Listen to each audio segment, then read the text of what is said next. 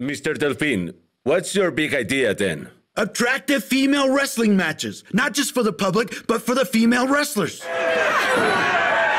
wanna see some love! I wanna see some love! Shut up, you sound like a vampire. Wait, please! Let me please! go, Bernardo. Stop! This is not the time for this kind of scene. I was already suspicious of what you were up to with your little sister, Sonia. Suspicious? Tell me about it, Doña. Don't make me say it out loud. I'm disgusted to hear myself say it. Well then, what are you going to do? Go to the police and reveal Suzuki's whereabouts.